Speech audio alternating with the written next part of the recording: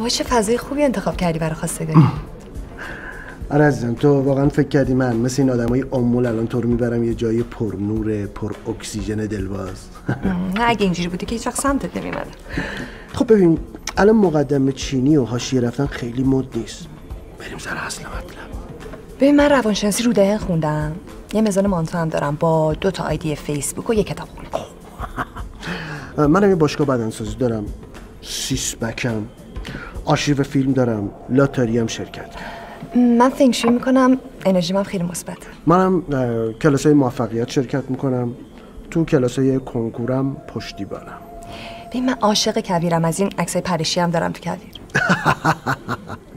اگه بری تو یوتیوب فیلم منو می‌بینی که من رو شنا دراز کشیدم. دو فرسخ خرغلت می‌زنم. چه جذاب. ولی من هیچ وقت دوست ندارم بچه داشتم فقط ادابس.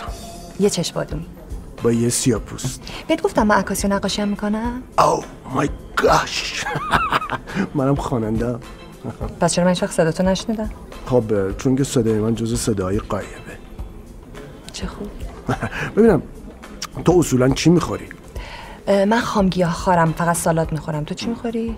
من من هیچی نمی‌خورم. من هیچی نخورم واقعا هیچی نخوری؟ آره من هیچی نخورم با من ازدواج می‌کنی؟ آره